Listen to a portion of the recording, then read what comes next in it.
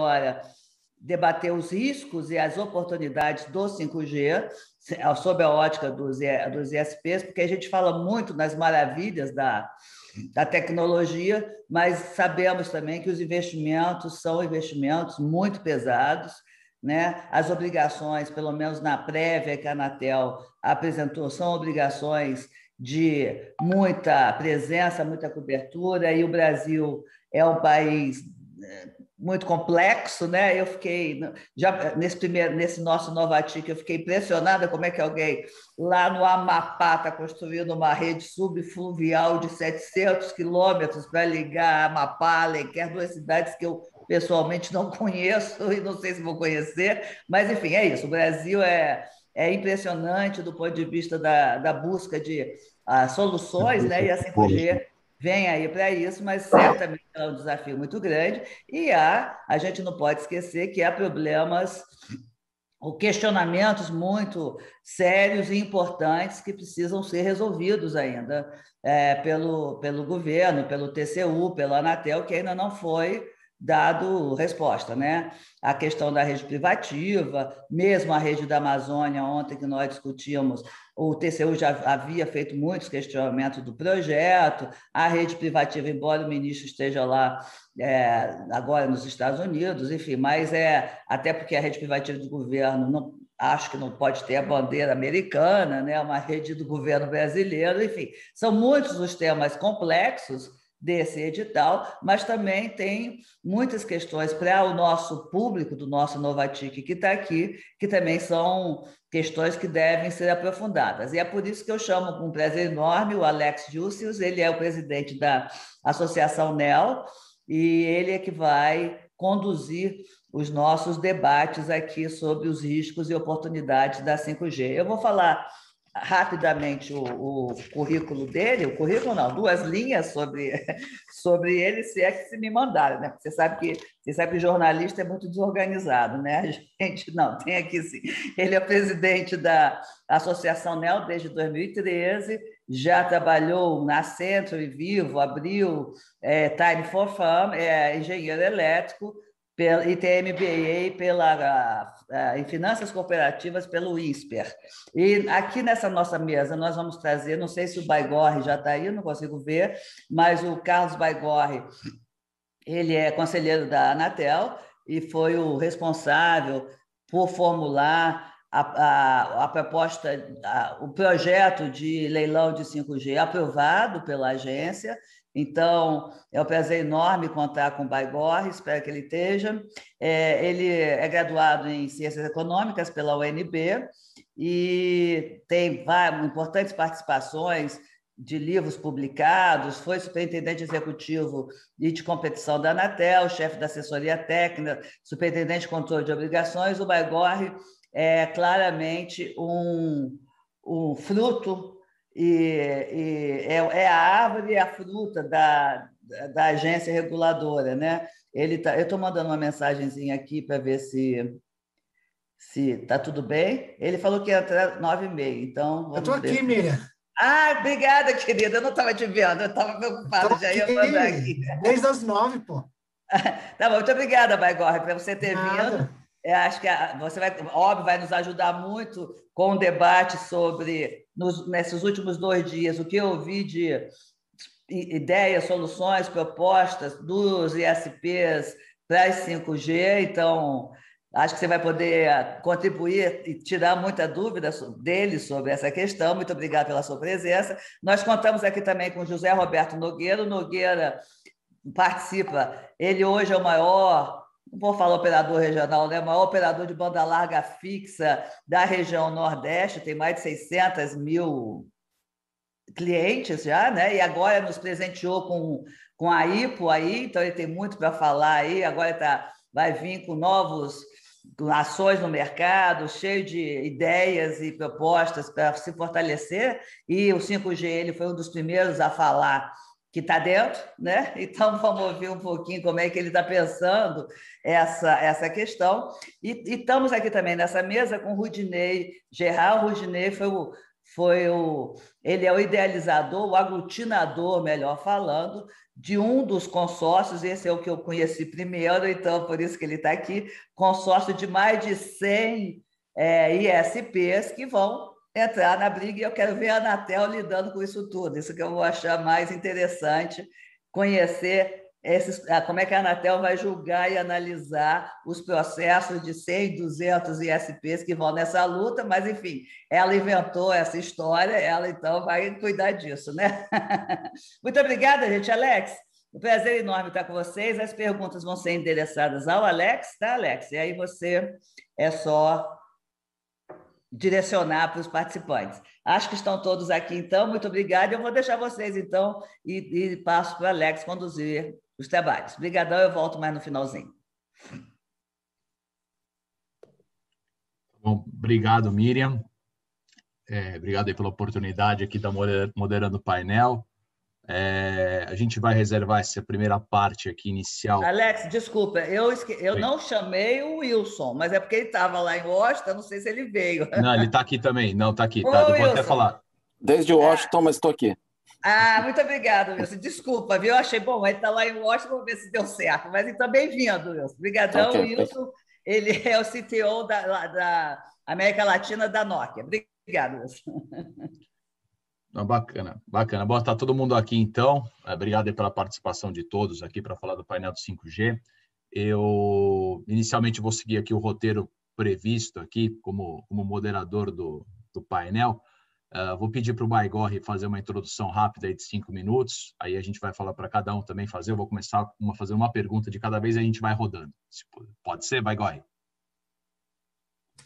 Bom, é, uma introdução rápida sobre o 5G. Como já foi longamente debatido, tanto no processo de aprovação do edital, quanto nos diversos eventos, nessa live também aqui, né, ao longo dos dias aqui da Inovatic, o 5G, o edital do 5G é, sem dúvida nenhuma, o maior edital de venda de radiofrequências da história da Anatel.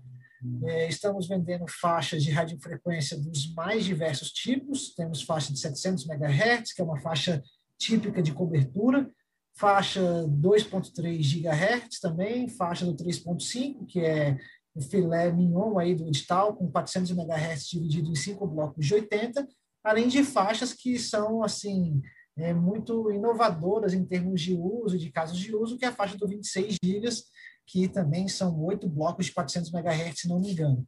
Então, assim, é o edital de maior quantidade de radiofrequências que a gente está colocando na história.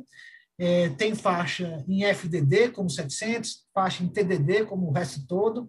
É, tem bloco nacional, tem bloco regional, tem compromisso de cobertura de estrada, compromisso de cobertura de localidade, compromisso de, de instalação de rede na Amazônia, compromisso de rede segura de governo, é, atendimento nas grandes cidades, nas pequenas cidades, é, tudo isso dividido ao longo dos vários lotes é, uma questão que foi bastante debatida no Conselho foi o, o, o, foco, né, já a definição de que as metas de cobertura do edital devem seguir o padrão do Release 16, conhecido como standalone, né, com todos os casos de uso ali previstos, o MMTC, o RLLC e o EMBB.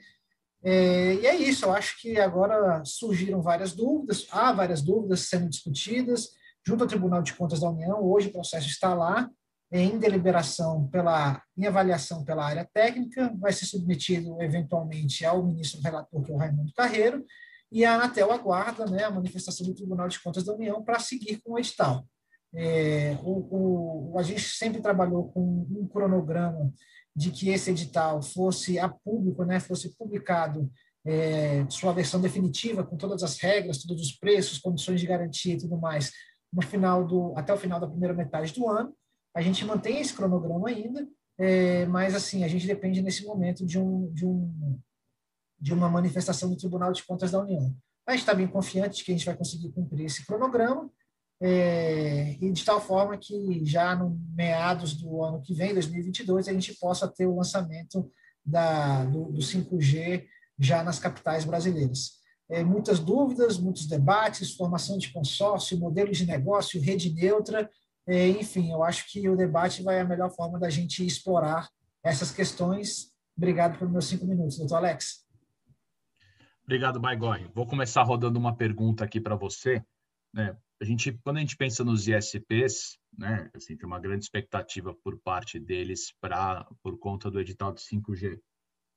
Várias organizações aí estão surgindo, né, para várias organizações entre os ISPs estão surgindo, né, para que de alguma maneira eles participem do edital. Uh, mas especialmente para aqueles que têm uma, uma expectativa de exploração do mercado móvel, surge sempre a preocupação né, de começar com uma rede uh, de 5G direto e não é, ter uma dificuldade para a utilização de redes legadas. Né? Redes legadas para, seja a rede de 700 uh, numa outra área, numa outra região, seja rede né, de 1.8, 2.1, 2.5, é, uma grande preocupação por parte dos ISPs na, na possibilidade de que isso uh, melhore, obviamente, o retorno no modelo de negócio do ISP que esteja uh, lançando a sua operação do zero. Né? É, quando você tem uma operação do zero, você começar do zero quando você tem já um concorrente que já tem cobertura, cobertura nacional, naturalmente você tem que ter algum tipo de alavanca que não seja apenas o edital. Como que a Anatel está vendo isso? Quer dizer, outras ferramentas que não o roaming para exploração, uh, que não apenas o roaming, né, e não apenas na própria área né, de concessão, para que os ISPs possam uh, ter uma capacidade maior de exploração do móvel. Bom, Alex, de fato, é, em ser um novo mercado com players já já presentes, né, é, é, sempre um desafio de empreendedorismo, é um desafio natural. É, existem vantagens competitivas já adquiridas pelos, pelos players que estão, estão, estão ali estabelecidos, é, e o que a gente vai atuar, a atuação da Anatel, não é no sentido de acabar com essas vantagens, de impedir que elas sejam exploradas, mas sim acabar, é, impedir que condutas anticoncorrenciais, é, discriminatórias, não isonômicas, sejam é, perpetradas pelos, pelos players que estão no mercado. Mas, assim, o nosso papel não é de impedir que eh, as vantagens competitivas conquistadas ao longo de anos de investimentos por parte dos players já estabelecidos sejam de forma legítima, de forma honesta, por eles explorados. Então, assim, agora, o que, que a gente tem de, de em termos de, de alavancas para colaborar, para ajudar o desenvolvimento da, tecno, do, da concorrência, são basicamente as assimetrias regulatórias eh, associadas aos PPPs, que têm uma carga regulatória muito menor, e as imposições de regulação econômica associadas aos grupos com poder de mercado significativo, no que diz respeito às suas ofertas de referência, compartilhamento de, de infraestruturas essenciais. É, a questão do roaming é um ponto que já discuti várias vezes, inclusive com você durante a relatoria do 5G, que é o seguinte, hoje o roaming é uma facilidade que ela não está prevista para dentro, dentro da própria área de prestação de uma empresa. Então, assim, uma empresa, vamos pensar aqui no doutor Roberto, Roberto vai lá, ganha o lote do Nordeste. Supondo, né? Estou torcendo, ganha lá o lote do Nordeste. Ele vai começar construindo lá nas capitais, Fortaleza, ele lança 5G em Fortaleza. O cliente Brisanet que sair de Fortaleza e for para Sobral, se a Brisanet não tiver rede em Sobral, vai ficar sem serviço. Aí você fala assim, não, mas ele deveria ter direito a entrar na rede de uma outra operadora. Pode ter esse direito, mas aí pode, pode ter essa situação, mas aí é uma negociação que precisa ser feita entre as partes. Esse não existe nenhuma garantia por parte da regulação de que há esse direito de entrar, porque aí, aí já não se trata mais de home. Home é um conceito que existe quando você sai da área de prestação de serviço. Dentro da mesma área de prestação de serviço, isso tem muito mais características de um compartilhamento de rede que pode ser conformado, né, compartilhamento é um é termo genérico, que você tem vários formatos, né? Você tem o RAN sharing, o Moran, o NOCN, exploração industrial de rede, então vários formatos de compartilhamento de rede. É, que isso não tem previsão regulatória de obrigatoriedade, é, mas a Anatel sempre pode se colocar e sempre exige né, que, por exemplo, o RAN sharing se dê em forma, de forma isonômica e não discriminatória. Por isso que todos os acordos de RAN sharing, a gente costuma exigir que haja uma versão pública do acordo, justamente para que terceiros possam aderir a esses acordos e poderem fazer esse compartilhamento. Então, acho que esse é o ponto da discussão, se, nesse momento. É óbvio que na revisão do, da regulamentação da Anatel, pode ser que uma nova realidade, uma, uma nova dinâmica concorrencial é, faça com que a Anatel estabeleça novas regras de compartilhamento, E, enfim, a gente tem discussão agora do, do, do RUI, né, o regulamento de uso do espectro. É, então, assim, é, mas essas discussões elas são feitas no contexto, no processo de, de revisão das normas, das regras. É, eu não entendo que isso deva ser algo que deva vir para dentro do edital, uma vez que o edital é um contrato e uma vez que ele está assinado, ele não pode ser mais modificado, a não ser que ambas as partes concordem. E aí, esse tipo de regulamentação econômica, de compartilhamento de ativos, ela precisa ter uma dinamicidade que o edital, no meu ver, não é o documento mais adequado. Mas, assim, eu acho que é um ponto, é um ponto de preocupação, sim, mas é um ponto de preocupação que não dá para jogar no colo da Anatel. Tipo, a Anatel, eu tenho, eu tenho esse problema que tem players estabelecidos, estão há 20 anos investindo, eu quero entrar e, e, eles têm vantagens. Bom, essas vantagens são legítimas, são naturais e, e a vida é assim. Então, assim, esse é o desafio.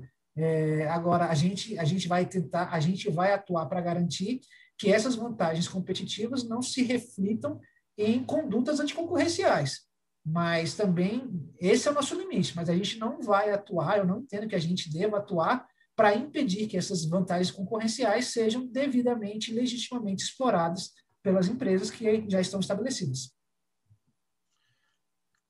Perfeito, Baigorre. Obrigado pela resposta. A gente já volta aqui com você. Vamos rodar aqui para ver se surgem outras, pontas aqui para a gente esclarecer aqui, tanto sobre edital, a participação?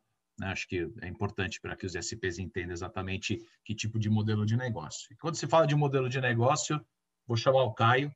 Né? É, o Caio uh, tem uma longa experiência uh, em vários editais no setor de telecomunicações. Queria primeiro que o Caio se apresentasse, dessa introdução de cinco minutos, para eu colocar algumas questões aqui para o Caio também. Bom dia, Caio.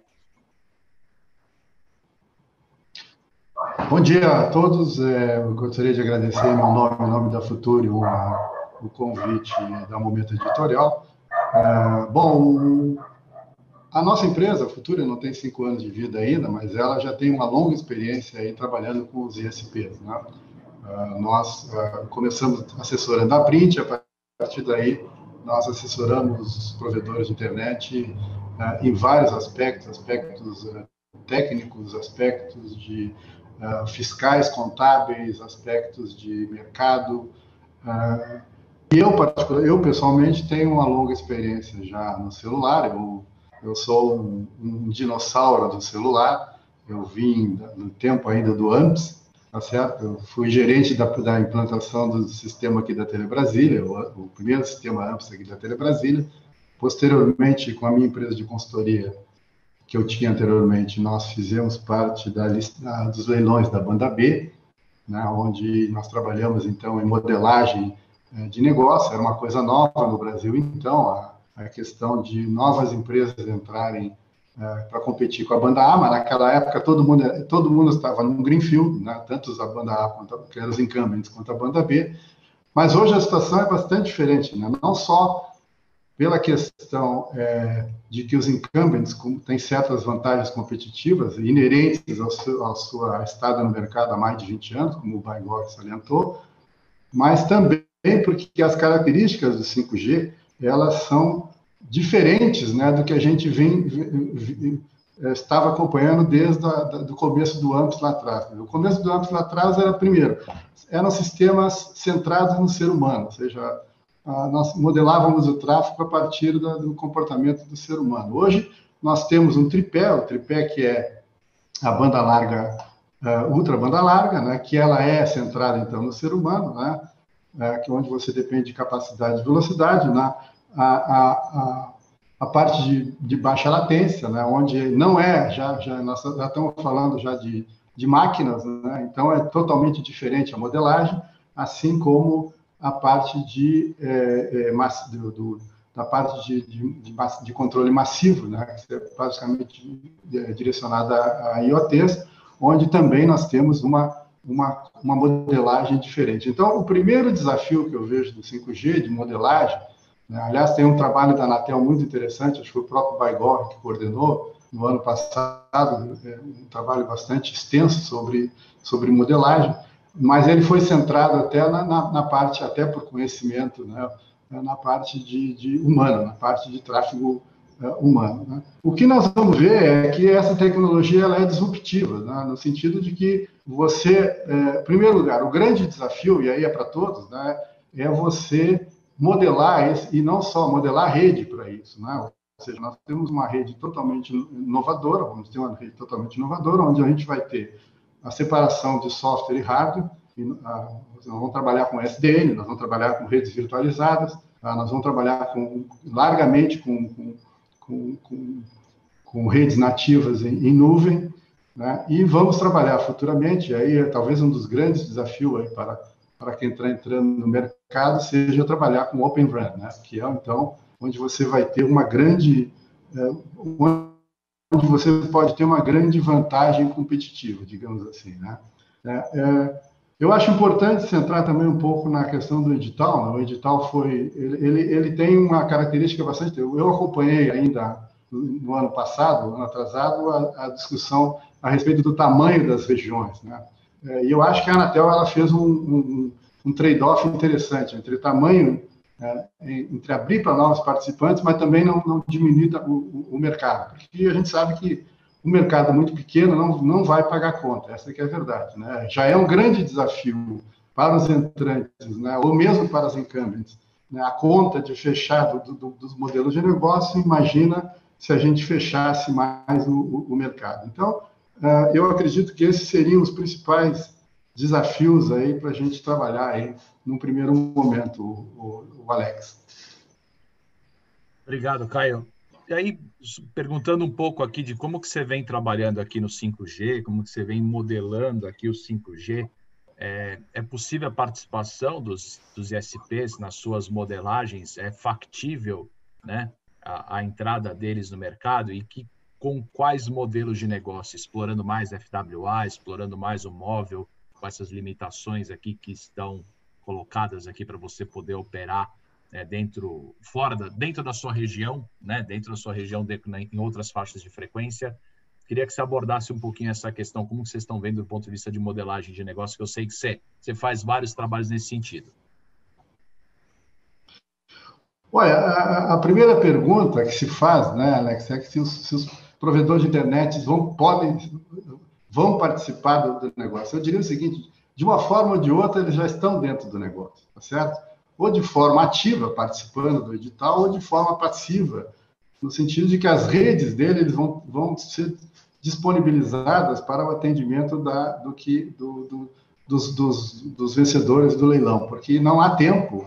Né? Dizer, o time to market no 5G ele é fundamental. Tá? Você vai pagar por uma licença, vai implantar os, os sistemas que não são baratos, tá? e, e, e, e quanto mais rápido você entrar no mercado, Quanto mais rápido você tiver receita, melhor o seu, o seu, o seu negócio. Então, eles vão, eles vão participar, até porque eles têm hoje no Brasil, né, um, que, que eu chamei de revolução silenciosa, quando eu estava na Telebrás, é a, a, maior rede de infraestrutura de FTTH é, do país está com, com, os provedores de internet. Né?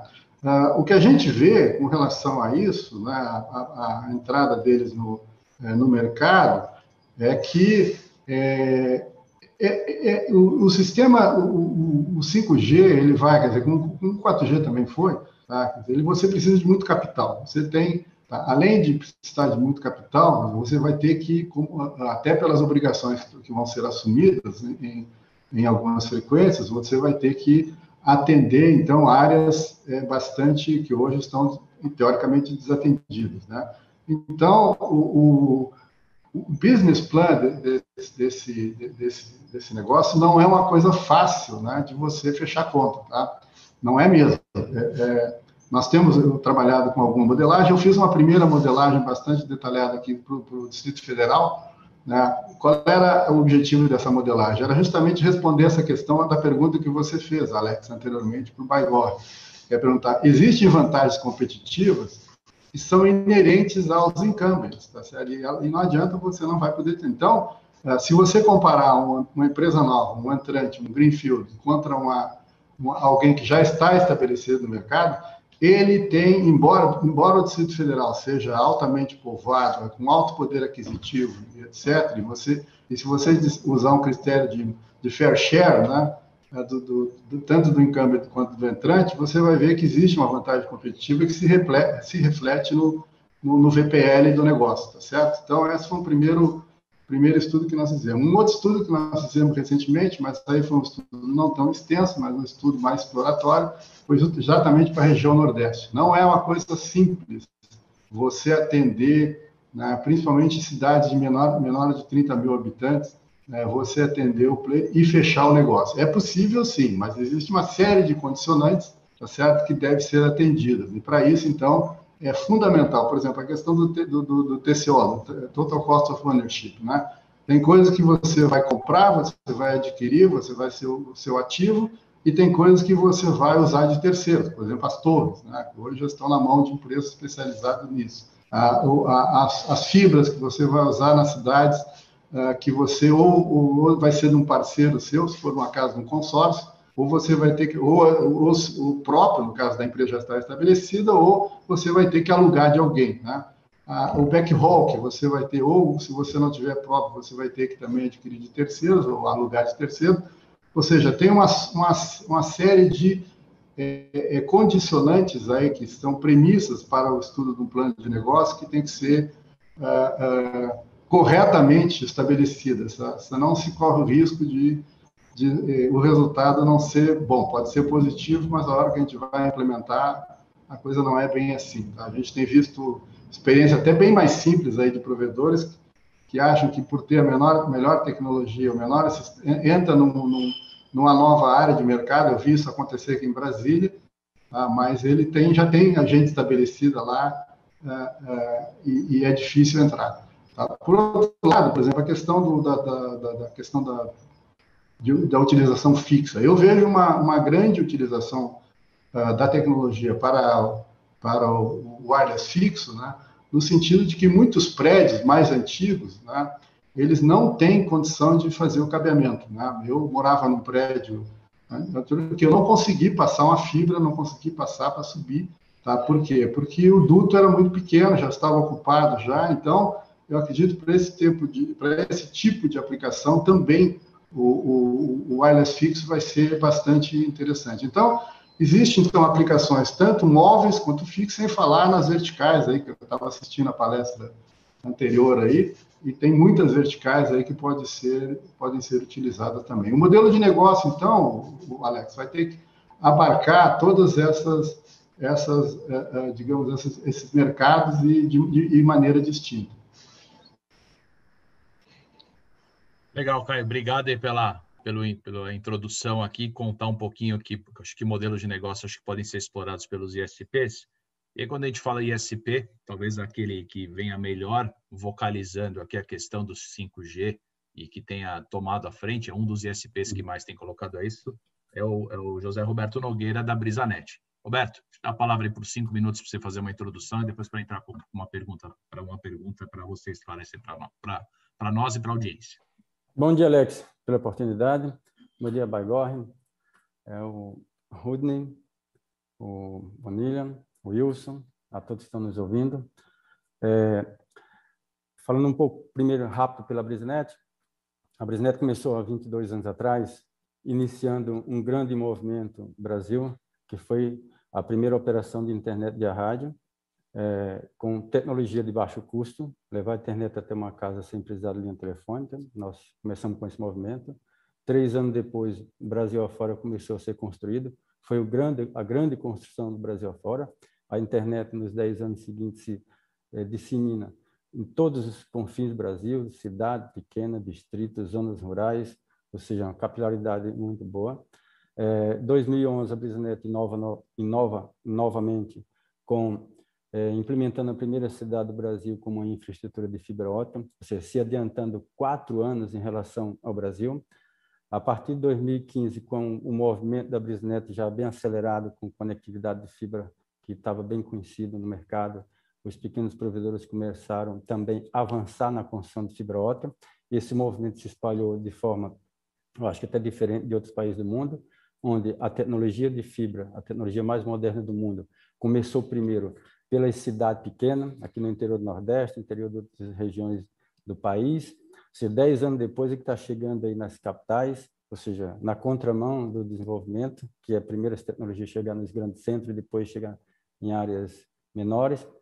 Ah, esse movimento hoje, os pequenos SP já assumiram a liderança de fibra, conectividade, conectividade em fibra ótica, isso com construção em cidades pequenas. No caso da Brisnet, hoje, chegamos agora, inclusive, atualizando aí, Miriam, os dados da Anatel anunciado ontem, a Brisnet já atingiu os 700 mil assinantes 100% orgânico, um trabalho muito grande durante esses 10 anos de conectividade de fibra, mesmo com pouco recurso, foi um grande feito. E esse movimento da Brisnet sempre está na frente dos pequenos SP, também serve como referência, assim, foi estimulado, de forma que o, o Brasil está conectado de forma razoável, que no momento, o ano passado, do coronavírus, é, não houve tanta reclamação das pessoas que estavam no interior do Brasil afora, que estavam desconectadas, não, estavam, as pessoas estavam razoavelmente bem conectadas. É, vou colocar aqui uma referência também, é, um grande... É, sim, depois desse movimento da, da fibra, a Brisnet hoje está se estendendo por vários estados, é, já com construção de rede de fibra ótica, sempre construindo suas redes. E nos últimos dois anos nós participando ativamente aí na Anatel, com muitas visitas, dezenas e dezenas de visitas, participando de todos os workshops. A Brisnet colaborou muito bem com a consulta pública, de forma que foi, inclusive, ouvido muito, muito que está na nossa consulta pública, está no edital.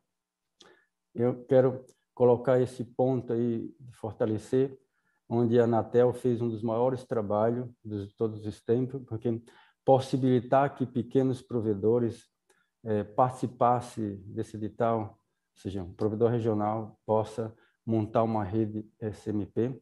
Isso para o Brasil é um ganho muito grande. O mesmo que aconteceu na fibra é, vai acontecer também no 5G, levando essa conectividade em áreas remotas de 5G. Então, a gente vê que esse edital saiu numa modalidade muito boa. O compromisso é muito grande, mas se não tivesse esse compromisso, é, eu acredito que o TCU não ia aprovar. Até Bagor, eu acredito, acredito não, o nosso o, o nosso bloco regional, ou seja, dos blocos dos ISPs, é, ele não está assimétrico. O compromisso de atender cidades abaixo de 30 mil habitantes é, é muito maior, porque nosso 90-10, os 90% de investimento é para fazer cidades pequena, é fazer o osso do osso. Então, na realidade, não está com assimetria, está justo, mas também nós não estamos pedindo para que não viesse. No, na nossa consulta pública, nós solicitamos é, que viesse grande compromisso, senão realmente ah, estávamos sem. Porque se tivesse uma assimetria, poderia ter mais problema no TCU. Ou, as grandes companhias também é 10,90, mas os 90 é investimento em áreas mais rentáveis. No ISP, nós estamos fazendo, implementando 90% em área menos rentável. Mas é a única, era a única forma realmente de a Anatel acertou bem. Se não tivesse esse compromisso gigante para as ISP, com certeza ia ter um impacto no TCU. E nesse momento nós estamos aguardando aí com muitos ansiosos, estamos ansiosos para que o TCU realmente aprova de tal no formato que a Anatel enviou, tudo bem que tem algumas questões como da Amazônia, e o projeto do governo a ser resolvido, mas esperamos que aí, rapidamente venha para a Anatel, publique, para a gente participar, que o, o foco da Brisnet é, é, implementar uma rede de 5G Nordeste, olhando principalmente para essa interiorização, e o Brasil vai ter a maior evolução em relação, acho que a qualquer outro país que é conectar pessoas em qualquer, qualquer lugar com as tecnologias mais recentes e não ficar 10 anos atrasado em relação às implementações de qualquer tecnologia que sempre chega nos grandes centros, 10 anos depois está nos pequenos centros e muitas vezes décadas para chegar em, em áreas rurais. Obrigado pela oportunidade, pode seguir com as perguntas. Obrigado, Roberto. Eu só para aproveitar seu gancho aqui, você falou que vai é, tem expectativa de entrar no bloco Nordeste, né? É, apenas no bloco Nordeste é, vai entrar sozinho, está olhando outras faixas de frequência que não 3,5 também, uh, 2.3, 26 GB, eventualmente Uh, eventualmente alguma questão de uma sobra dos 700 que possa ter na segunda rodada. O que que você, o que que você está olhando? Se você tem intenção de participar eventualmente de algum consórcio, parceria em outras áreas, se vai sozinho mesmo no Nordeste, qual que é a qual que é a tua expectativa aí do que você está vendo? Alex, a Bisneto já tem deixado bem claro ao mercado há muito tempo da nossa decisão de ir sozinho no Bloco Regional Nordeste. Nós temos um projeto chamado Nordeste 100% Conectado em qualquer cidade, em qualquer distrito. Então, nós vamos seguir nessa modalidade. E uh, a questão que você falou sobre... Uh, desculpa, a outra... Outras áreas e outros blocos, além de 3,5. Então, o, o 700, ele vai vir... O 700 seria um, um, uma, uma, ótima opção.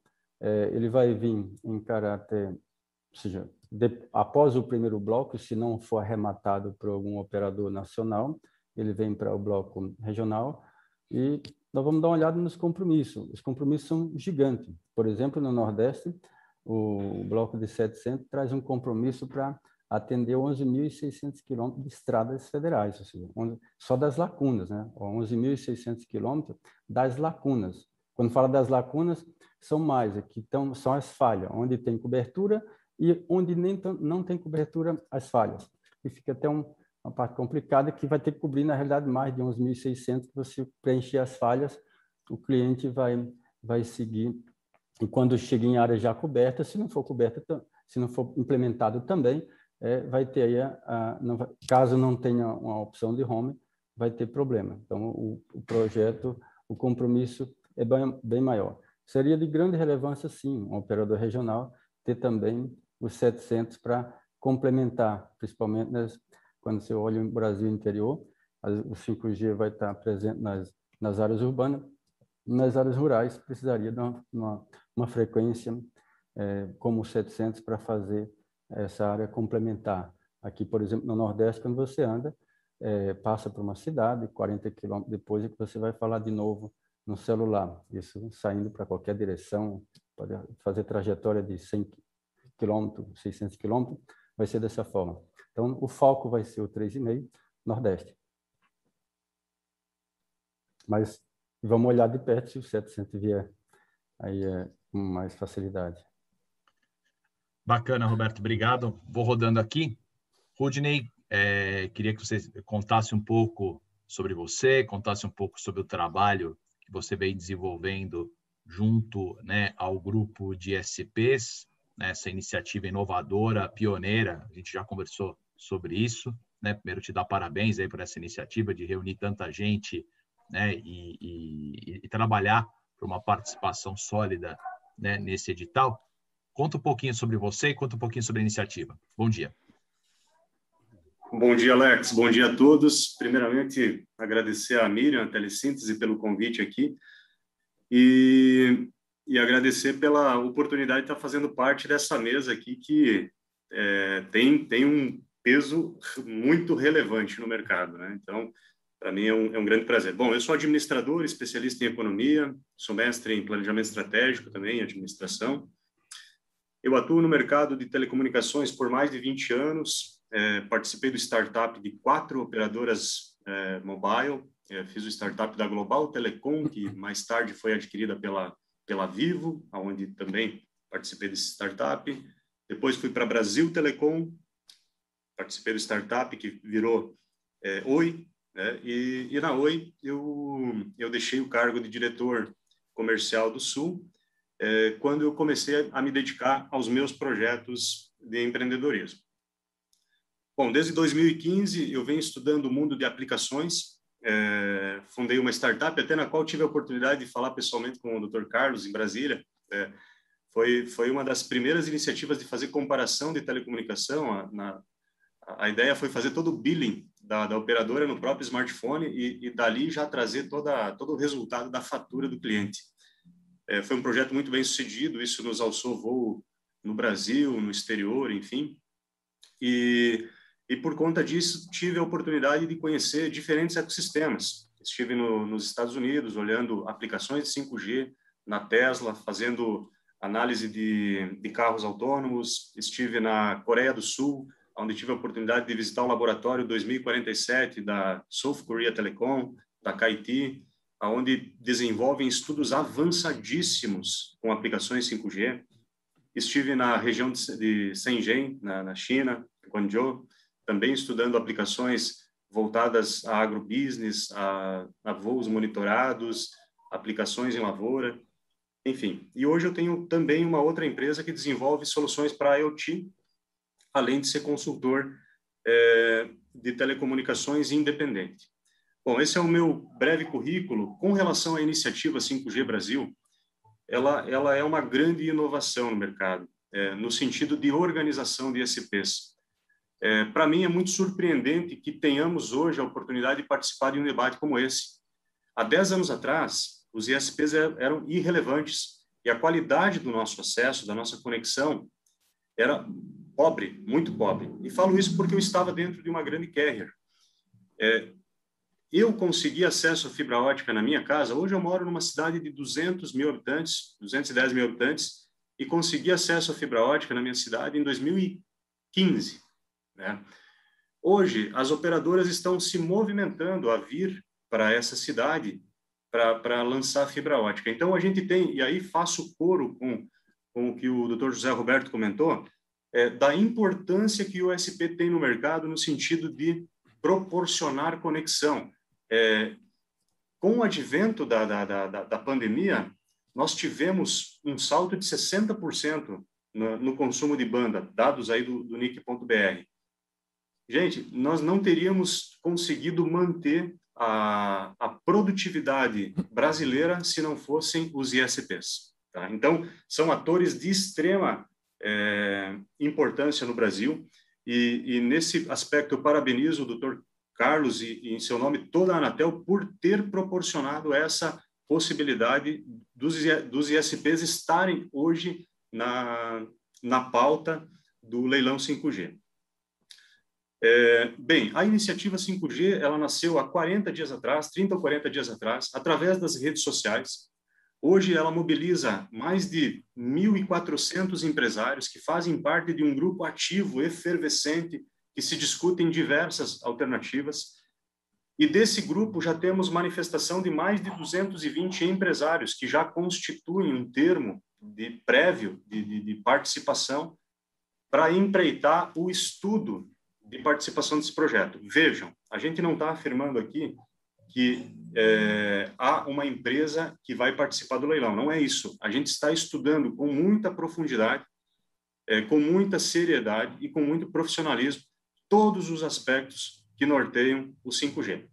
O 5G, na minha opinião, ele, ele não é acesso, ele é a aplicação. Ele é a aplicação. É, e não tem como ficar fora disso. Se os operadores regionais ficarem fora do leilão 5G, eles terão que ou se submeter aos modelos de negócios que forem é, estabelecidos daqui para frente, né? ou terão um futuro é, um pouco complicado. Tá? É, então, assim, por uma tendência natural, é, é justo que se, que, que se haja essa possibilidade de unificação, que se haja é, um entendimento de todas as premissas, de todos os preceitos estabelecidos pela, pelo, pelo edital, pela minuta do edital, né, que não são fáceis. A gente sabe que o SMT ele tem um, um regulatório extremamente é, exigente comparado ao SCM ou a qualquer outra outorga, então precisa ter um, um, nível de seriedade muito grande, mas os provedores locais eles têm uma grande vantagem comparativa e competitiva, gente. Tá? É, vou dar um dado para vocês aqui de todas as operações que eu acompanho quando é, adquirem a, uma, uma, um credenciamento de MVNO, de 10 a 20% da base do ISP migra da operadora atual para o ISP. É, só que a conta não para de pé. Né? Então, a gente precisa ter uma alternativa que viabilize esse, esse, essa atuação no mercado mobile. E essa alternativa que a gente vê hoje é, sim, é, entrar num processo como esse de leilão de frequências para é, que, que, os SPs mantenham a sua é, competitividade todo mundo ganha. O Brasil ganha, é uma questão de soberania tecnológica, né? é um tema que a gente discute pouco, mas, mas é, é muito importante. é uma, é uma questão de, de manter as, as receitas e as riquezas dentro do país, e é uma questão de sobrevivência desses atores tão importante é, localmente. Obrigado, Rudney. Você já, já respondeu duas das minhas duas das minhas perguntas aqui, já esclareceu, né, como que vocês pretendem, quais as opções que vocês estão estudando. Só conta um pouquinho rapidamente, só para poder rodar, fechar com o Wilson aqui, depois a gente fazer uma rodada final de perguntas. É, como que vocês estão organizados, né, estruturalmente, né, entre os ISPs? Como está a estrutura dentro da de ter tanta gente participando e como vocês estão estruturados para conduzir todo mundo? E quantos quantos estão atualmente estão? Tá bem. A gente se organiza da seguinte forma: é, de forma preliminar, foi estabelecido um conselho onde participam três membros de cada região. Então, temos três empresários que fazem, fazem parte lá do Norte, do Nordeste, do Sul, do Sudeste e do Centro-Oeste.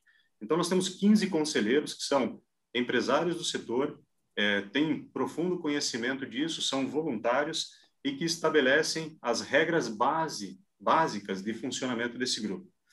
É, existe um presidente de, desse, desse, conselho que tem uma, uma, uma função bastante institucional é, para coordenar todo esse grupo. É, esse conselho ele definiu uma gestão executiva é, e aí na qual eu fui contratado para essa para essa função é, para coordenar os trabalhos de execução. Dentro da execução nós temos quatro comissões: uma comissão de jurídico regulatório aonde a gente tem uma consultoria específica estabelecendo, trabalhando para para dar as diretrizes, os nortes com relação ao edital. Nós temos uma comissão é, técnica, né, que, que tem que tem uh, acesso é, inventariando tecnologia, inventariando possibilidades, conversas com os vendors, enfim, estudando benchmarks, é, de locais onde a gente já consegue ter um, uma, uma, um entendimento da aplicação. A gente tem uma comissão que trata do economics, né, do, do project finance project e da, e da, da viabilidade econômica do, do projeto, e uma última comissão é, que ela é mais relações institucionais, que é onde é, dá vazão a todos os temas com diferentes stakeholders aí, desde os participantes, é, a, alguns representantes do governo que porventura acabam acabam é, nos chamando, é, enfim, essa essa quarta caixa é uma caixa de, de relacionamento basicamente e, e, a gente viu grande importância em, em tê-la aí para poder atender os é, todo mundo. Legal. Então ela está compo tá composta dessa forma, Alex. Bacana, legal. Obrigado, Rudney. Wilson, Aproveitando que você está diretamente, pegar a notícia fresquinha diretamente da fonte, que você está aí em Washington acompanhando aí a comitiva, fazendo as demonstrações, fazendo todas as demonstrações e tudo mais, acompanhando aí o, a visita do governo brasileiro, queria que você desse um update daí, já dissesse para a gente por que, né, vocês foram os defensores do padrão standalone do 5G, o que, que isso traz na prática de benefício para os ISPs. Bom dia para você. Alex, bom dia. Já estou só corrigindo, já estou em Nova York, tá para pegar o voo de volta no fim do dia hoje. Tá e aproveitando até para dar um pulo aqui no Bell Labs, que a Nokia tem aqui do lado, em New Jersey. Bom, uh, ah, para quem acompanha, bom, primeiro bom dia a todos os colegas do painel, conselheiro Carlos Baigorre, Roberto, saudades de Pereira e Roberto, quer dar um pulinho logo, Caio, Rudinei. E bom, prazer estar com vocês, Miriam, para a organização. Bom, a semana, a semana foi muito intensa, né? Acho que as discussões, a imprensa retratou muito bem o que aconteceu. E claro que a preocupação do governo americano em fazer é, que o Brasil busque ter parceiros que parceiros tecnológicos para a construção da rede 5G que sigam esses conceitos de redes abertas e seguras é fundamental. E o ponto do governo americano é que os investimentos americanos seguem a linha de países que adotam redes abertas e seguras, uma coisa que tinha começado na administração Trump e agora na administração Biden se solidifica cada vez maior. Nós tivemos a oportunidade de mostrar a, como mostrar essa construção da rede 5G, né? E de como é simples montar essas redes 5G, claro que em dimensões menores, a gente conhece a complexidade, não vamos investigar isso. E eu acho que até, falando brevemente, é, sabemos da jornada que nós passamos até agora, né? Para chegar nesse ponto, Lembrando que quando nós começamos esse tema de 5G no Brasil, nós tínhamos muito menos espectro nessa faixa de 3,5 é, todo o trabalho que nós fizemos tec, junto à área técnica da Anatel para provar que era possível aumentar esse espectro para a banda de 3.3 a 3.7 MHz, colocando 100 MHz a mais nisso. Todos os testes de compatibilidade que foram feitos com a TV RO e chegando no modelo de mitigação agora que está sendo colocado no edital. E, e até abrindo a possibilidade para as redes privativas, a faixa de 3.7 até 3.8. E claro que eu acho que o ponto fundamental da colocação do standalone, Alex, eu acho que ele vem de dois fatores fundamentais. Eu acho que primeiro ele eu coloco do ponto de vista de tecnologia. Eu gosto do tema puro 5G porque eu diria o seguinte: o não standalone ele foi um, vamos falar entre nós, ele é um tremendo quebra-galho. Né? Ele é um quebra-galho que foi criado justamente para atender dois mercados, o mercado ou três mercados que existiam lá atrás, que era o mercado coreano, americano, japonês, onde a gente já tinha o espectro ser exaurido e você possibilitava fazer esse uso do 4G para complementar o uso. Eu vou dar um bom exemplo hoje. Hoje a gente começa a discutir o 6G e ninguém fala de utilizar o 5G como complemento para fazer o uplink ou downlink de 6G. Possivelmente lá em 2029, né, quando a gente estiver fazendo as primeiras implementações de 5G, alguém vai pedir um quebra-galho com 5G e 6G em comum. E nós vamos criar outro não standalone 5G e 6G. Mas se a gente voltar no passado, lá em 2009, né? ou dois, quando a gente começava a discutir o 4G, o 5G falava que era uma rede pura, aonde você fazia o up e downlink com 5G. Então, essa consequência, e claro que todos os benefícios, principalmente da produtividade, já foi colocado o tema produtividade nesse painel, eles vêm do 5G. Fazer um não standalone é fazer mais do mesmo. Né? Quando a gente vai para o modelo de disrupção de negócio. E é aí que acho que vem a combinação fundamental dos SPs, que nós sempre acreditamos no Brasil, de criar novos modelos de negócio.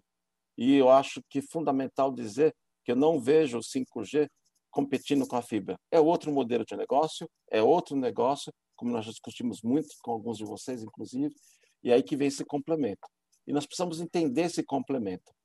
E quando você até tive a oportunidade de conversar em outras conversas aqui, quando você começa a ver o que a Dish está fazendo nos Estados Unidos, né? desafiando gigantes como AT&T e Verizon e T-Mobile, com uma rede completamente nova, baseadas em conceitos de Open RAN, trazendo uma, um nicho de mercado diferente, aonde já começa a ter os primeiros usuários entrando na rede, outras empresas menores como a Seasphere, que possivelmente no Brasil ninguém conhece, né? Que é um ISP aqui nos Estados Unidos, que também tem uma rede de fibra grande, e começa, em alguns nichos onde eles começam a colocar 5G, eles têm um market share maior que a T-Mobile ou a Verizon. Então a gente começa a ter esse, porque o relacionamento com o cliente deles é melhor do que essas grandes duas operadoras nas áreas que eles atuam. São regiões pequenas dos Estados Unidos? São regiões. Estão em Nova York, estão em Washington, estão em Miami ou Los Angeles? Não, não estão. Mas nas áreas que eles estão, eles começam a ter poder de mercado significativo. E aí, acho que voltando um ponto, como a Dish, estão começando a se incubar as outras operadoras nos Estados Unidos que estão focando em áreas de negócio. Umas estão focando em agricultura, outras estão focando em portos, outras estão focando em sistemas de logística, e logística é um dos maiores gargalos que nós temos no Brasil. Né? Então, esse acho que é o ponto que nós temos que olhar como a gente alavancar os negócios. Essa acho que é o meu ponto de contribuição, Alex, para a gente fazer o bate-papo final aí do painel. Legal, obrigado, Wilson, aí pela, pela contribuição. Eu acho que eu tenho mais 10 minutinhos aqui com vocês, então, ah, cinco palestrantes, dois minutinhos para cada um agora. Só uma pergunta rápida e palavras finais. Miriam, se me corrija se eu estiver errado, né? se a gente tiver um pouco mais de tempo, obviamente eu vou explorar aqui com todo mundo, porque o painel tá bom, tá? Mas deixa eu o Alex, eu mais... acho que a gente pode dar uma esticadinha, porque eu, tô, eu pelo menos, tenho milhões de coisas ainda que eu queria ouvir, então mais 10 minutinhos. Sim. Tá bom, maravilha. Ganhamos mais 10 aqui, então 20 no total aqui. Baigorre, eu, eu queria que você. Tem, uma, tem várias inovações nesse edital, se for comparar com os editais anteriores, né? Assim, vários, é, vários deles. Mas um que chama atenção é a questão dos consórcios. E até por conta aqui dos, uh, dos próprios ISPs, a própria possibilidade a própria possibilidade do ganhador eventualmente ele desmembrar áreas né, entre eles depois que você tiver a própria aquisição. Então, você tem um proponente, depois cada um compra, por exemplo, o Bloco Sul, e você dentro você tem um consórcio de três, e eles depois se reorganizam para cada um deles atender o Estado. Queria que você comentasse um pouco dessas inovações, como essa do consórcio no edital, né, para mostrar que realmente foi pensado para que você tivesse oportunidade uh, de, de, de, exploração uh, diferente, né, como nunca houve, né, nunca houve né, realmente um leilão como esse para que os ISPs pudessem entrar. Obrigado, Alex. Bom, é, de fato é uma inovação essa questão do consórcio, é, e como toda inovação surgem várias dúvidas é, que a princípio, a gente não tem resposta. Mas, na minha perspectiva, eu vou falar na minha posição, eh, enquanto membro do conselho diretor, não posso falar em nome de todo o conselho diretor, mas eu entendo que isso, isso que você colocou é um, é um arranjo possível, eu não veria grandes problemas quanto a isso, desde ficasse muito, muito bem caracterizado quem é o responsável eh, pelas obrigações perante a agência dos termos editalícios, né? Tem que lembrar que tem que por mais que o edital tenha muitas obrigações, como foi colocado pelo doutor Roberto, Roberto Nogueira, é, essas obrigações elas são todas revertidas em, compromisso, em compromissos é, de garantias que precisam ser apresentadas. Né? Então, assim, precisa ficar muito claro, a Anatel vai exigir que essas garantias sejam apresentadas, até como condição para a assinatura da outorga, e essas garantias precisam ser re, re, repostas, né, renovadas eh, periodicamente, então é importante que todas as obrigações estejam muito bem definidas entre os membros do consórcio, quem serão os responsáveis. Mas, assim, eu, eu não vejo isso como algo problemático, algo só por ser, de fato, uma inovação, é algo que precisa ser um pouco melhor detalhado. É, a gente, depois da publicação do edital, ainda tem uma fase de perguntas e respostas, que é uma fase em que os potenciais proponentes podem apresentar perante a agência dúvidas do edital, a Anatel se manifesta diante dessas dúvidas e essas perguntas e essas respostas viram um anexo do edital. Então, não dá para, depois, daqui a um tempo, mudar de opinião. Então, aquela resposta, ela vira a regra do jogo. Então, assim, eu acho bastante, bastante, bastante tranquila essa questão dos consórcios. Legal, bacana. E com relação à questão do próprio TCU, Baigorre, tem uma expectativa de ter que passar novamente uh, o, o, edital novamente por aprovação no Conselho por alguma alteração uh, que venha a ser feita uh, pelo TCU na, na, estrutura do documento ou não? Qual é a expectativa da... Qual é a tua expectativa? Bom, minha expectativa, Alex, é que depende, é, inevitavelmente, se tiver uma alteração, o, o, edital ele é aprovado por meio de um acórdão, né? Você tem um acórdão, que é um documento, uma manifesta, um documento formal da agência, onde ali tem anexo um, um edital de radiofrequência, uma minuta de edital, com uma série de condições. Se houver alteração desse, desse, desse, desse, desse edital em razão de manifestação do Tribunal de Contas da União, determinação, recomendação do Tribunal de Contas, ou até por autotutela da agência, né, vai que a Anatel, o Conselho Diretor percebe que tem um erro, um erro lá e vai ter que publicar de novo é, é necessário um novo acordo, né? um novo documento. Se for um erro simplesmente de português, aí não, aí é um erro pequeno, mas assim, se, se, se perceber que há uma questão de que foi colocada a, rádio, a, faixa, a faixa de radiofrequência errada, aí a gente tem que publicar novo e corrigir. Então, assim, a, o, o novo acordo precisa ser publicado, precisa ter uma nova decisão do Conselho Diretor da Anatel para que o edital seja alterado. E aí, se, se as alterações do Tribunal de Contas da União, ou até que a própria Anatel decida fazer, forem muito substanciais, né? se for uma questão pequena, e, e essa, e essa margem é, é, é, é difícil, né? ela precisa ser avaliada no caso concreto, se for uma alteração pequena, aí você faz um novo acordo e publica um novo edital com essas alterações. Agora, se tiver uma alteração substancial, é, e aí isso precisa ser visto no caso a caso, é possível, inclusive, como o próprio presidente Leonardo já anunciou, que seja necessária uma nova consulta pública, né? porque você está o processo regulatório exige essa discussão com a sociedade. Então, uma mudança significativa do edital envolverá necessariamente, por força legal, uma nova discussão em consulta pública que tem um prazo mínimo aí para acontecer. Eu não vejo em nenhum desses cenários é, um, um, um, dilata, um, um problema muito grande de prazo, né? Porque uma nova decisão do conselho diretor, se for uma questão pequena, pode ser feita em próprio ciclo deliberativo, que é muito rápido, né? um dia a gente muda. É, agora, se precisar de, uma, precisar de uma consulta pública, aí a gente precisa de alguns dias aí para alterar, mas nada que, no, na visão mais ampla do cronograma, eu acho que, que prejudique. Mas é óbvio que a gente espera que o Tribunal de Contas da União, a gente espera, e é natural, que eles apresentem manifestações quanto à necessidade ou recomendações de alterações, é, e a gente vai fazer as, as alterações que forem necessárias.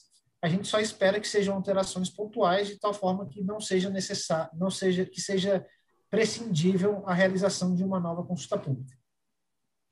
Obrigado, Baigorre. Vou rodar aqui, tenho mais 13 minutinhos aqui que a Miriam me deu. Caio, é, para você, você aí, aproveitando até o nome da própria empresa Futurion, você fazer uma previsão aqui sobre a questão do próprio do próprio edital. Como você tem visto os blocos regionais, especialmente se eu acho que vai ter uma disputa é, nos blocos, se tem mais de um proponente para cada bloco, e uma expectativa de valor de garantia e os compromissos dos blocos regionais, se você já fez algum cálculo nesse sentido.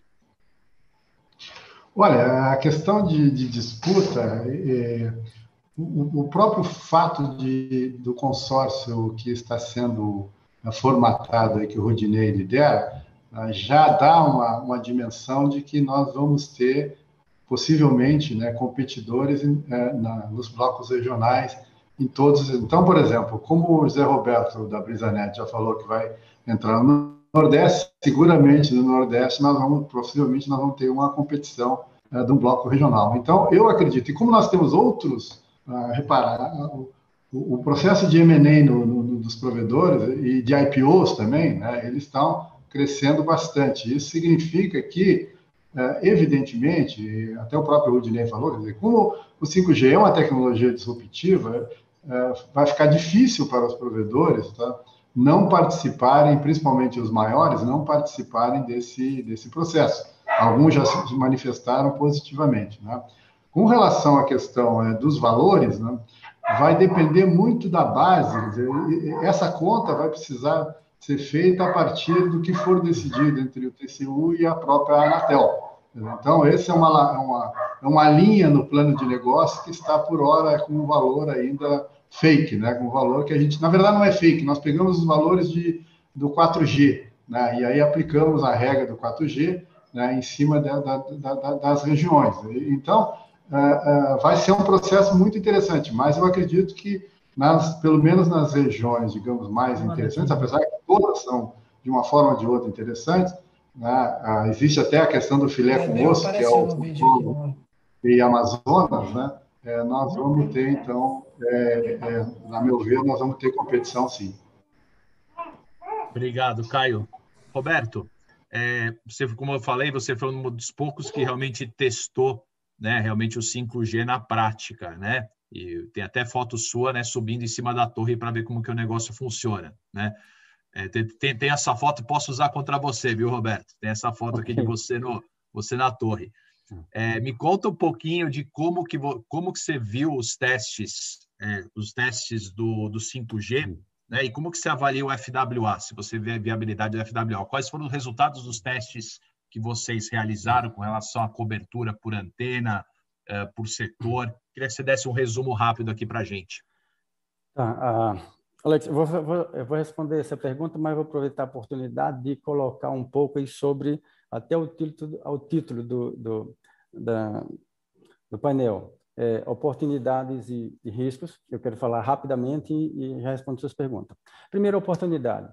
É, o Brasil é gigante, então temos a, a, a maior parte da população concentrada em 500 cidades. Então, por exemplo, para as grandes operadoras, o maior faturamento está em menos de 500 cidades. Aí nós temos aí um, pouco mais de 5 mil cidades Brasil afora que tem um faturamento bem pequeno, talvez próximo da relação é, é, 80-20. Só que eu acredito que o CAPEX de manutenção dessa área de 5 mil cidades, fazendo é, atualização de backbone, atualizando com frequência, é, com, com periodicidade, os equipamentos, os elementos de rede, então, eu acredito que esse, essa área é um grande osso para o setor de telecom, é um grande peso.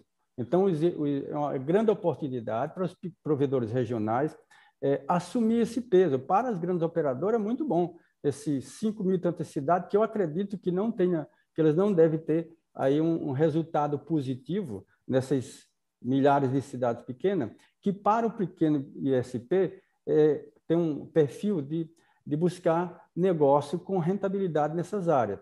Então, ah, o que eu vejo para os pequenos SP é esse Brasil afora de pequenas cidades, implementando redes em cidades pequenas, distritos, grandes vilas, é, isso rentabilizando com a solução de não para para a Brisnet não enxerga FWA, nós enxergamos é, um complementar à fibra, mais uma torre implementada com raio de 350 metros que atinge uma população de 6 mil habitantes, é o que nós enxergamos, é, essa, essa capacidade de entrega diretamente no dispositivo, sem terminal, porque o terminal nos próximos anos vai ser muito caro.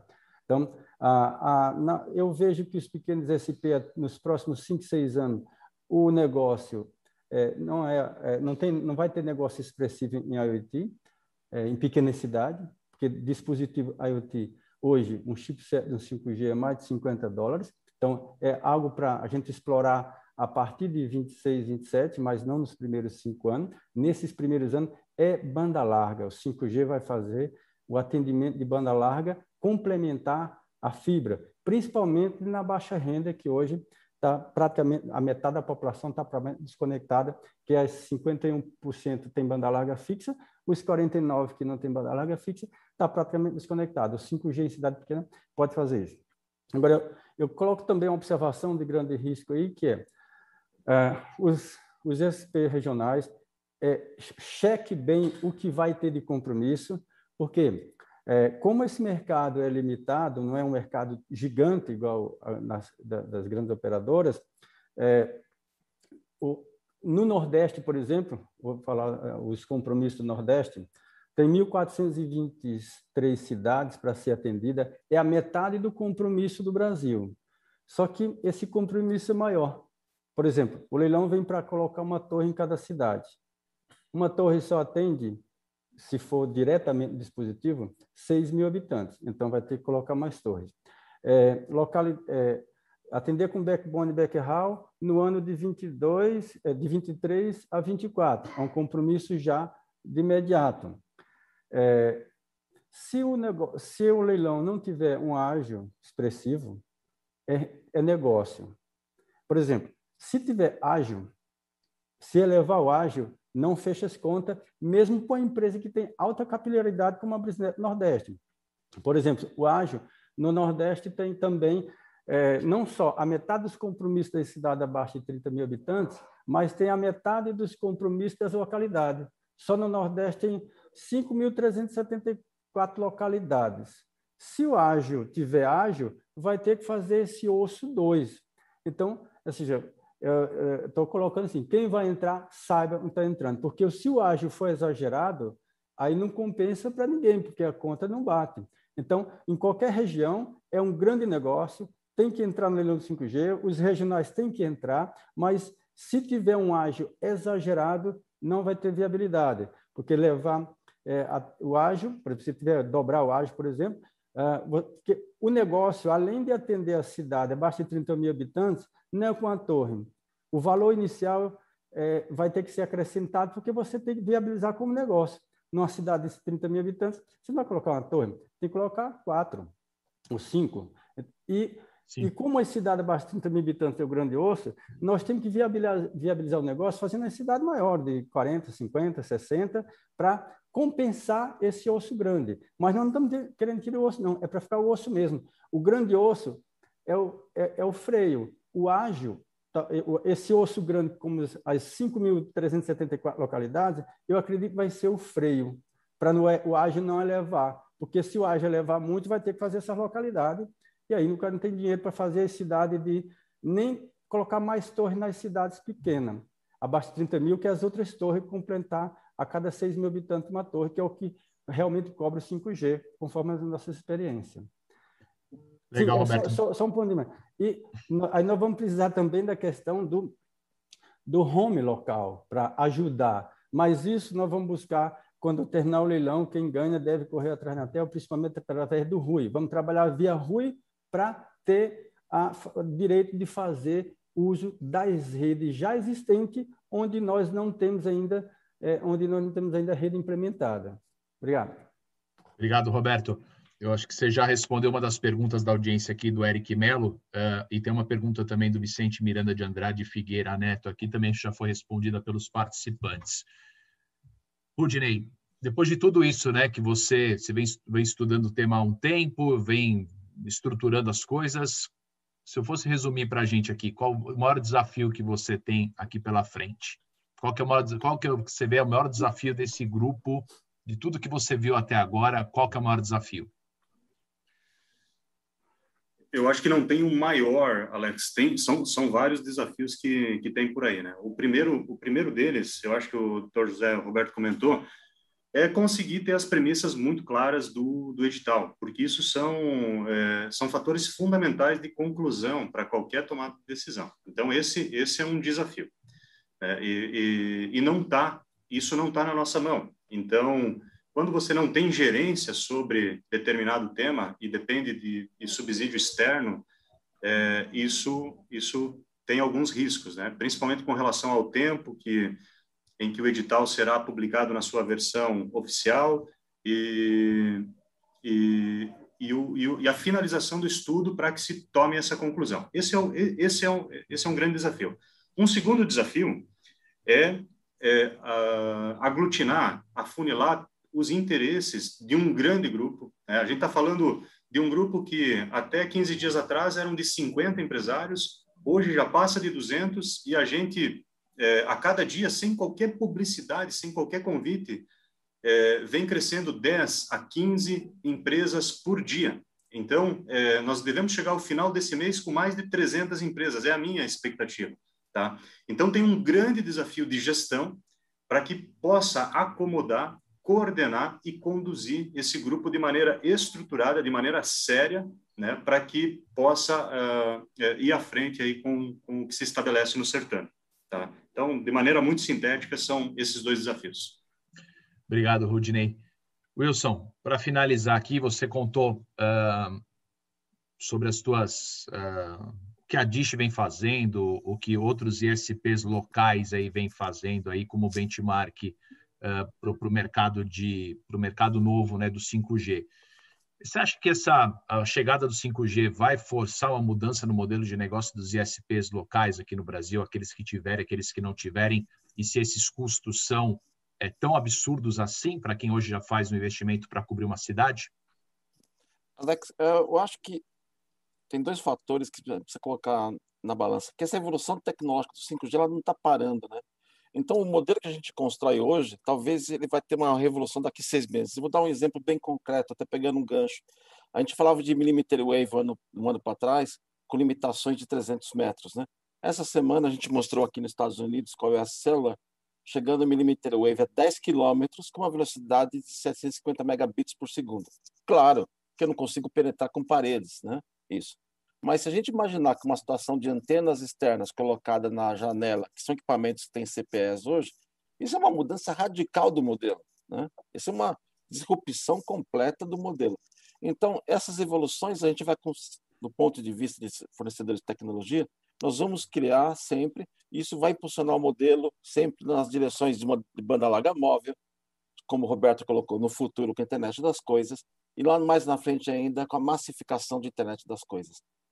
Isso que a gente precisa ver, eu acho que é isso que nós precisamos entender como fazer essa evolução. O caso viabiliza hoje, não tenho dúvida que viabiliza, nós vamos ter essas alavancas no futuro ainda para continuar fazendo com que esse caso fique mais viável. Bacana. Eu tenho uma pergunta aqui que chegou sobre a questão de redes neutras, a opinião dos panelistas sobre a questão de redes neutras e se vai ter oportunidade de comercialização de redes neutras pelos provedores é, menores uh, para provimento de backhaul compartilhado para as operadoras ganhadoras do leilão de 5G. Não sei quem quer pegar essa daqui da rede neutra. Fala, Roberto. Uh, Alex, minha opinião é o seguinte: a rede neutra uh, é difícil acessar as cidades abaixo de 100 mil habitantes. Qualquer cidade abaixo de 100 mil habitantes, não de 100 mil habitantes, cidade de 20 mil habitantes hoje, tem 4, 5, 6 redes de fibra por pequenos SP. O pequeno SP está no simples, ele pode ali ter ticket até de 55, 60 reais. O operador de rede neutra, pelo que a gente tem visto, vai, vai cobrar na faixa de 40 reais pelo acesso. Então, um ISP na, na cidade pequena não vai comprar um acesso de 40 reais para tarifar depois 55, 60 reais. Então, nas cidades abaixo de 100 mil habitantes, eu acho isso difícil. Também na periferia das grandes cidades, das grandes capitais, também é difícil porque o cenário da periferia das grandes capitais é o mesmo da cidadinha pequena. Num bairro tem 5, 10 provedores com, de, de 500 assinantes, 1.500 assinantes, tudo bem que esses números não chegam na Anatel, é a maioria até informal, mas está lá competindo e alguns já regularizados maiores um pouco, alguns maiores, que tarifa 60 reais, está mais regularizado, mas como está no Simples, tem um preço muito baixo, que com pagar 40 reais para tarifar 60, não dá. Então, nos grandes centros, sim, eu acredito vai ter aí o sucesso das operadoras de rede neutra no centro, nas áreas AB, chegando para ser das grandes capitais. Essa é a nossa visão do que pode acontecer. Obrigado, Roberto. Miriam, acho que conseguimos cumprir a meta aqui. Hoje foi é, corrido. Na tá? verdade, a gente tem que ter ampliado o, o, horário, né? Que tem muitos temas, mas aqui a jornalista do Não Resistiu, vou fazer uma pergunta para o Baigorre. Baigorre, a Anatel já enviou para o TCU as, a segunda rodada de, de enfim, arranjos do que o das, das recomendações e mudanças que o TCU tinha mandado? Se sim, quando? E quando é que vocês acham que então começa a valer o prazo dos 90 dias para mim, 60 dias para o ministro da resposta do TCU? Oi, Miriam. É... Bom, quem cuida dessa interação agora com a unidade técnica lá do tribunal é a nossa equipe técnica, o Abraão, liderada pelo Abraão. A última informação que eu tenho, conversei com ele no começo dessa semana, é que da nossa parte a gente já tinha encaminhado todos os, os materiais, todos os comentários, tudo mais, estávamos aguardando eh, novas interações com a equipe de lá. Então, da nossa parte hoje, eh, nós não estamos com nenhuma pendência do nosso lado. É claro que assim o tribunal até o momento não fez nenhuma determinação, nenhuma recomendação para a gente alterar nada. Na verdade, são muito mais perguntas, eh, esclarecimentos que a gente está dando é, mas a gente só pretende fazer alteração das propostas uma vez que saiu o acordo, né? Então, assim, não é porque a unidade técnica fez um questionamento que a gente vai alterar a proposta do edital. Até mesmo porque a gente vai esperar a manifestação do tribunal, do, do, do tribunal TCU, no pleno do TCU, todos os seus ministros, para que aí sim a gente é, reavalie no âmbito do conselho diretor a necessidade de alteração da, da, da minuta do edital. Ok. Gente, muito obrigada. Todas as outras dúvidas, eu tenho certeza que minha redação está enlouquecida com um monte de coisa que a gente queria perguntar, mas não, não vai dar tempo. E eu quero me penitenciar com o Caio, que santo de casa não faz milagre. A, o e a Futurion, nós fizemos um estudo muito legal do quem é quem na banda larga fixa, está no ar, vocês podem baixar. Vão, e, e a gente só conseguiu fazer com a informação, os dados da Futurion e a paciência dele para nos, nos atender o que, que a gente estava tentando colocar no, no, papel, e eu acabei não apresentando, chamando na, a mesa, milhões de desculpas, cara, mas quero avisar que nós já vamos lançar o Quem é Quem Sudeste ainda em, a, no mês de junho, julho, então você me desculpa aí, cara, você ter é, escapado você, mas é, assim, os mais próximos são sempre os esquecidos, como dizem os meus filhos aqui de casa. Gente, muito obrigada, acho que contribuiu muito, acho que o leilão vai ser chique. Roberto, ó, pode pegar seu dinheiro daí para aí, porque eu acho que vai ter, vai ter ágio, vai ter disputa aí nesse, nessas frequências aí regionais, e vamos lá, vamos ver. Esse, esse, esse Brasil sempre surpreende, né? Quando a gente vê, sempre tem, tem alguém aparecendo, colocando preços.